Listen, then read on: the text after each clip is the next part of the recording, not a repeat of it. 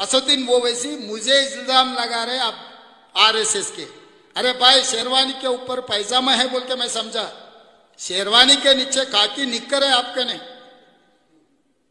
बार बार मेरे बारे में आप कह रहे मैं सीधा सीधा एक सवाल पूछना चाहता हूँ असुद्दीन ओवैसी से।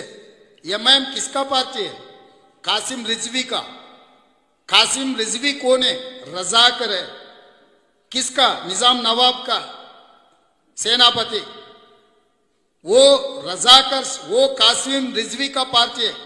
आज के तारीख में आपको कासिम रिजवी बोल के बुला सकता हूँ क्या?